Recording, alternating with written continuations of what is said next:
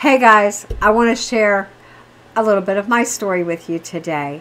You see, I didn't want to stay in that wilderness and I didn't want God to remove something from me that He said needed to go so I could focus more on Him. So, you know what happened? I got put in the wilderness. I took a fall that broke my wrist, shattered it to the point I had to have metal plates and screws put in it. That meant that some things that I did I could not do for a very long time. God healed me so I can do them now.